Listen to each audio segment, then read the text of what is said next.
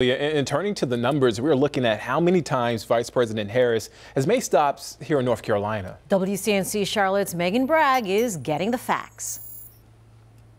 Well, guys, this is actually the second week in a row that Harris has visited North Carolina. Last week, she was in Raleigh with President Biden on a campaign stop. And let's take a look at her record of visiting our state. Now, since she took office in 2020, she has been here 12 times. Just this year alone, she's been to North Carolina four times, and two of those times were right here in the Queen City.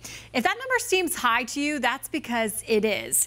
We spoke with Scott Huffman. He's a political, political science professor, and he explains why the vice president keeps coming back to the Tar Heel state. So Donald Trump has been a black swan event.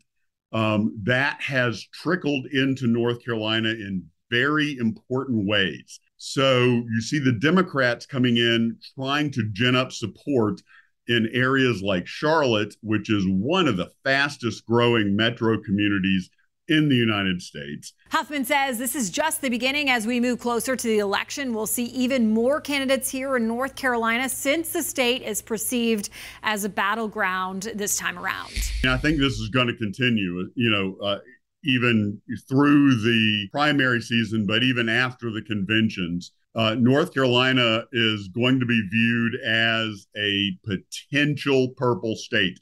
Even though it has leaned red, I think North Carolina is going to be a target for the National Democratic Party, especially because of down ticket races. With your Verify Fact Check, I'm Meghan Bragg.